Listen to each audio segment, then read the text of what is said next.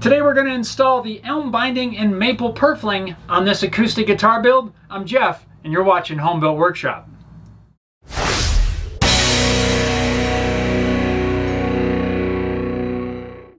What's going on everyone? Welcome to this episode of Homebuilt Workshop where we are once again working on the acoustic guitar. In the last episode, if you haven't seen it, there's a link in the description, I kind of left things hanging. And by that, I mean the edges of the top and the back. The box is completely closed, but I have yet to trim off this excess material that's overhanging the sides. That's what we need to start working on first thing.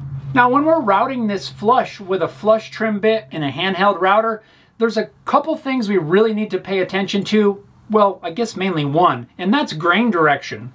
If we were to just fire up the router and start making passes all in one direction, there's a really high possibility that we could get some nasty tear out because we're going to go from different grain directions as we move around the body. One area in particular that we really need to be careful about is right here in the waist, and that's where routing one way we're going with the grain and then we switch directions and we're going against the grain. So to hopefully help reduce the chances of tear out in the waist, I'm gonna take a razor saw and just make a cut through that overhanging material down to the depth where it meets the side.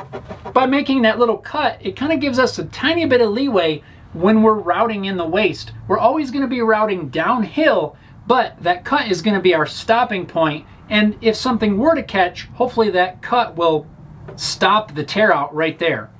Hopefully. Fingers crossed.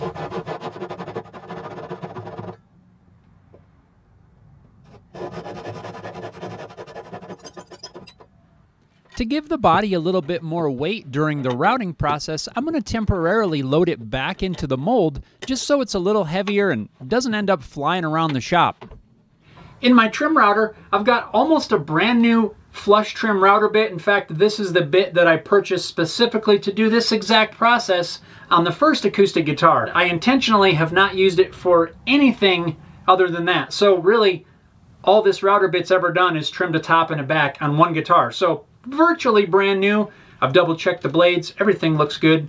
So let's fire this thing up and very carefully route the top and the back flush with the sides. Eyes and ears, don't be scared. I say don't be scared, but yet I'm a little bit terrified. Let's go for it.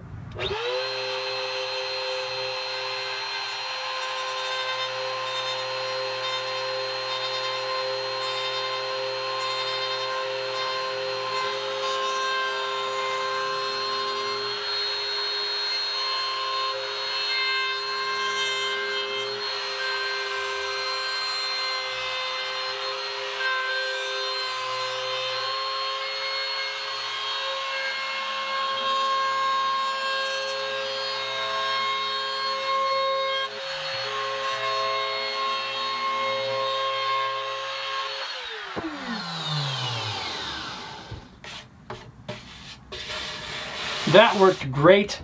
Now, we'll just flip this thing over.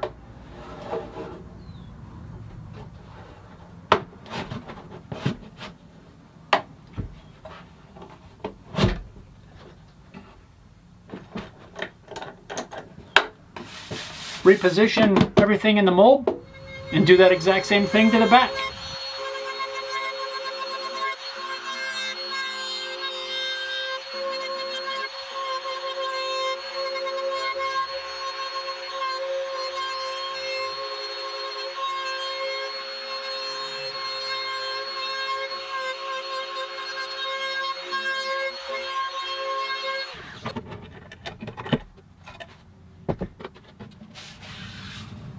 Top and back are routed flush. Next up is the binding and purfling channels, but before we do that, we gotta sand these sides. The reason we wanna sand the sides before cutting the binding channels is because the binding cutter references off the sides. So if our sides are a little out of shape, that out of shapeness, is that a word? Is going to translate into the binding channel. So I need to clean up this mess and then we gotta sand everything nice and smooth.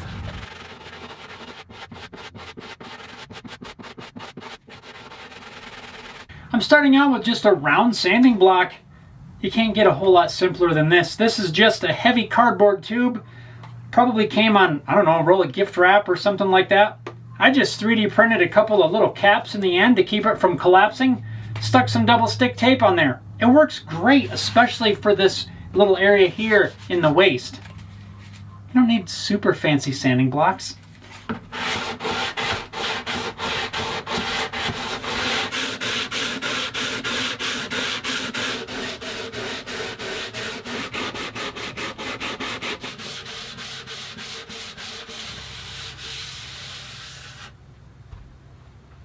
I think that'll work. With all that fun sanding complete, we can now work on cutting the binding and the purfling channels. I've got my purfling and binding right here. I made this up a little while back myself. The binding is going to be made from this elm and the purfling around the top is going to be maple. Should give a nice contrast in color to the maple on the rest of this guitar.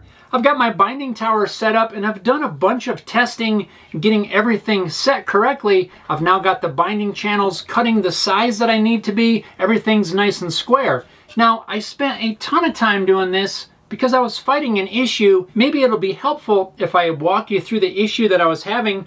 I think I got it figured out and it was really kind of just a silly mistake, but it caused me about an entire afternoon of troubleshooting trying to figure out what was going on. Now my test piece for setting this all up was this little scrap of 2x4. Now on its own it's not tall enough to reach the cutter because the guitar body is much taller than that. This cutter doesn't go all the way down to the height of this 2x4. So in order to raise this up, I just grabbed my shooting board and some other things just to space it up so that I could pass it under the binding jig. Now when I set this up, I had this shooting board flipped over and what I did not realize was that this cleat is thicker than this thickness of plywood that I had it setting on. So that was raising up one side of this board. It wasn't quite enough that I immediately noticed it. I just set out to adjust all these cutters and everything. And the problem I was having was my binding channel was not square. I spent a ton of time resurfacing this binding to make sure that it was square, but it still rocked in the binding channel and I could not figure out why. I checked square on my binding jig, I checked square on the bit, everything, and spent an entire afternoon trying to figure out what was going on. After getting frustrated enough, I finally just left the shop. I, I couldn't figure out what was going on and I was about ready to pull my hair out. And I don't have much of that to pull out. The next morning, I was fortunate enough to be able to brainstorm with an awesome bunch of people in my weekly live streams and got some more ideas and did some more digging and checking. Finally, I discovered that this cleat on my shooting board was face down, resting on my work table, which was holding everything at an angle. It wasn't much, but it was enough that the binding channel was not square. Once I figured that out, did another test cut, everything's nice and square, everything fits good, and now I think we're ready to start cutting the binding channels on the guitar body. I don't know how helpful that is, but I wanted to share one of the challenges that I encountered and tell you what the solution was, even though it was quite simple. But, but it cost me a lot of time trying to figure that out. But now I know. Make sure everything's sitting nice and flat before you do your test cuts. Before I cut the binding channels, I'm going to seal the edges with a couple of coats of shellac. This will hopefully help prevent tear out.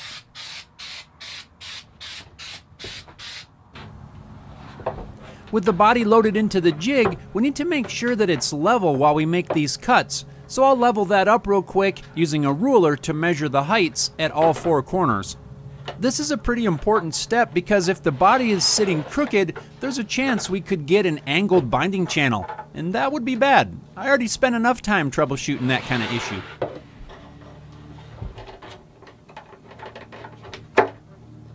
I've got the body leveled up in the jig. I've got the purfling cutter set in the router. When I'm making all of these cuts, I'm going to do it exactly like I trimmed the top. We're always going to cut downhill, so I'm going to stop, reposition the guitar body until I get all of the downhill cuts made. Then I can make one pass all the way around and clean everything up. Then I'll swap this out for the binding bit. We'll cut the binding channel on the top, flip the body over, cut the binding channel on the back with the exact same setup. Easy as that, right? No reason to be scared. Let's do this.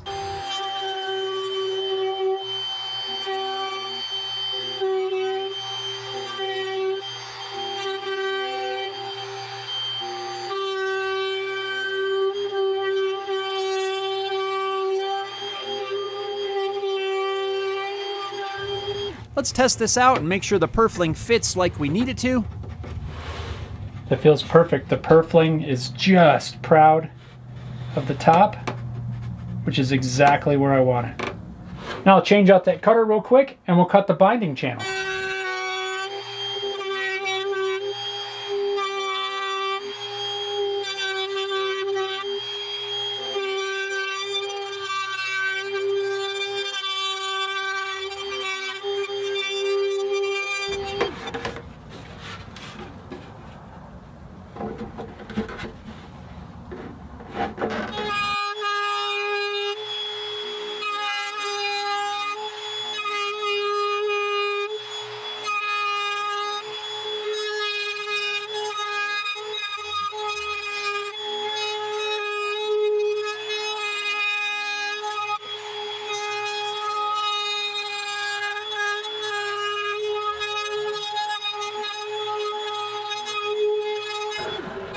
After cutting these channels, I was left with just a few small fuzzies in the channel that could potentially keep the binding from sitting flush. So I want to remove those carefully using a light touch with a file.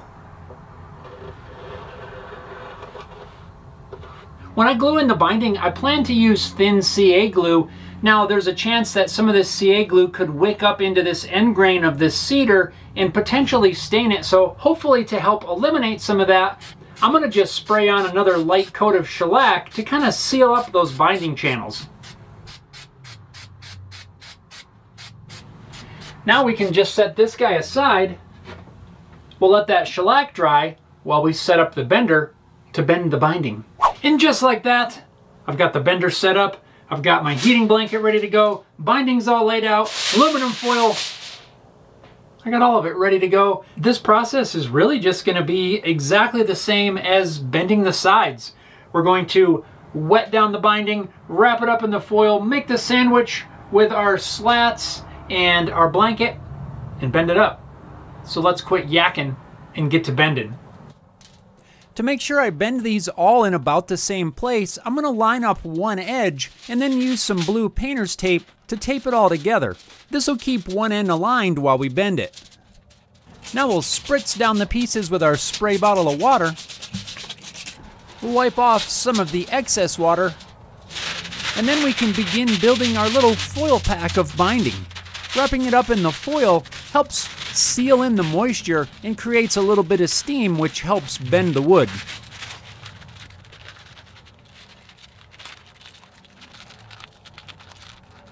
Now our binding foil pack gets sandwiched between our two pieces of spring steel. I'm aligning the foil pack with one edge of the steel. This gives me a flat reference surface so that nothing is crooked when we load it into the bender.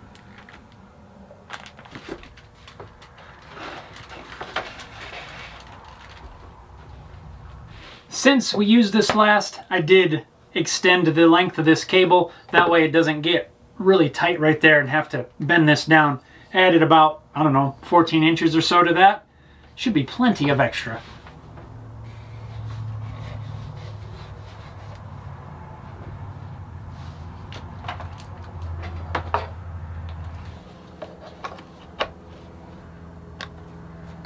Here we go.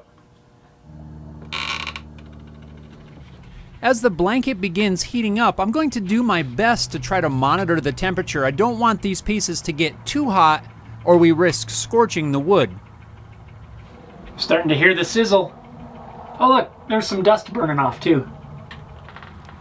As everything is coming up to temperature, I'll slowly start to add some pressure to the waist area first. When the waist is fully clamped down, I'll switch off the heating blanket and then finish making these bends.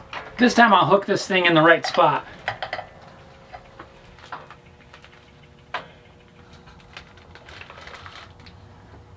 I left this side of the binding a little too long. So I'm just going to put a couple blocks under there real quick to kind of raise this whole thing up.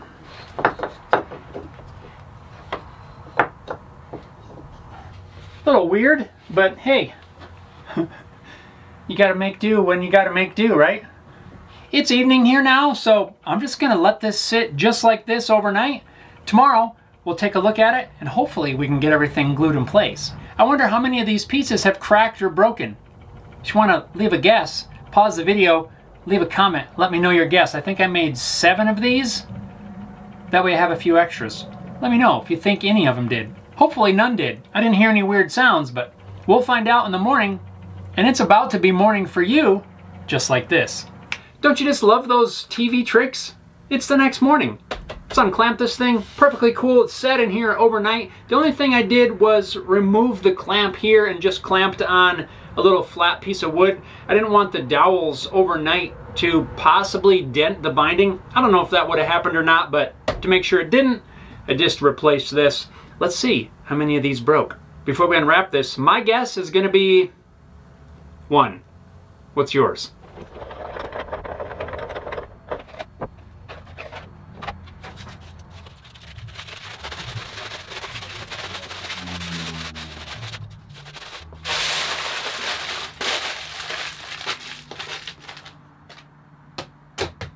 All right, let's see what we have.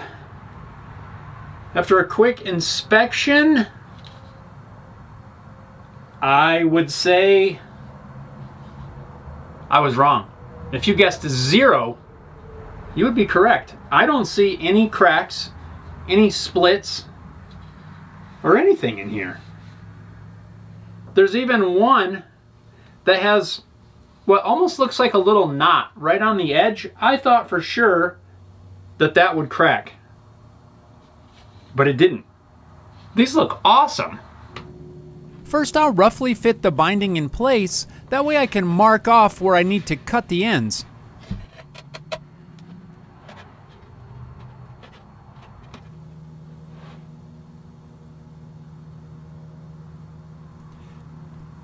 When I cut this off, I'm leaving it just a little bit long, that way we can fine tune it once we have the binding in place. There's something kind of fun about this process, although it does take a little bit of time, and it is kind of tedious, but it's kind of fun to see everything start to fall into place.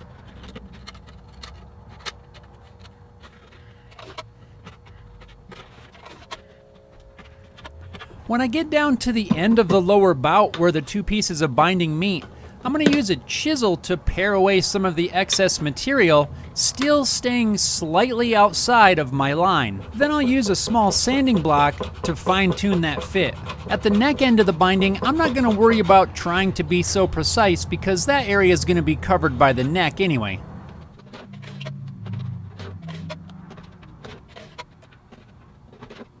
With the binding all taped up, I'm ready to wick in some thin super glue. I've got a block of wood handy just in case I need to press in a couple of areas. If I run into that sort of situation, then I'll give it a quick shot of accelerator to get that glue to dry really quick. Otherwise, I'm gonna try to avoid using accelerator as much as possible just so that it doesn't foam and bubble up. I want a nice clean glue joint and letting it dry naturally is really the best way to get that. I've got a piece of parchment paper I'm going to try to keep near the area where I'm working. That way I can try to prevent any drips from getting on the top. Another good reason to have a little bit of shellac on there will be also to prevent some of that, but I'm gonna try to catch any drips that may or may not occur with the parchment paper. I'm using a whip tip on the end of my CA glue to give me a very small amount of glue at a time. I don't want a giant amount to come pouring out and spill all over everything. The whip tip allows me to be very precise with the amount of glue that comes out. Most of the time. You have to be a little bit careful still.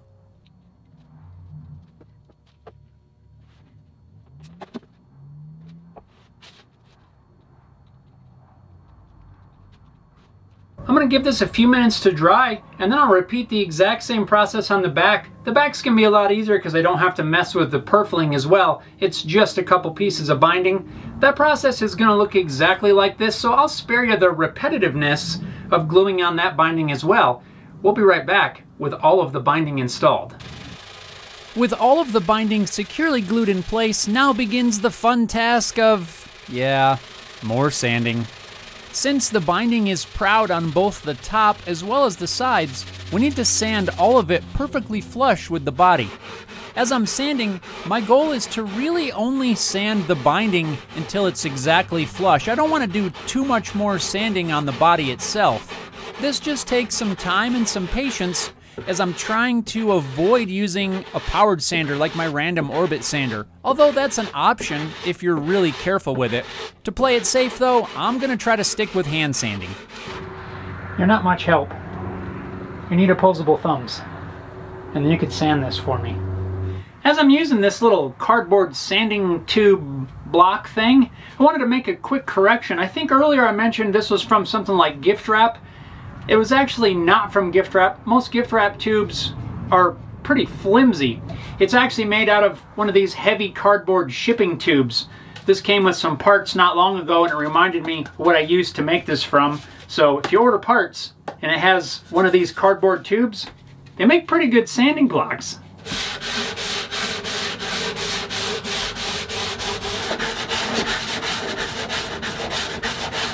After what feels like an eternity of sanding, our binding's level, nice and smooth, and we're at the point where we can now set this body aside and start working on the neck. Just for fun, let's give this a quick wipe down with some mineral spirits and just get an idea of what this might look like once we apply some finish. That maple purfling really gives it a nice contrast. This is going to look really cool. I love the darker color of the elm against both the maple sides and the Port Orford cedar top. This is going to be awesome. Just for fun, I wiped some mineral spirits around the rosette as well. Like that dark brown color of the elm and the white maple purfling. I'm quite happy to be at the step where I can set the body aside and begin working on something different for a change. We're going to start on the neck in the next episode of the acoustic guitar build. Make sure you're subscribed to the channel so you don't miss when that video comes out, thanks a lot for watching, and we'll see you next time. I like it.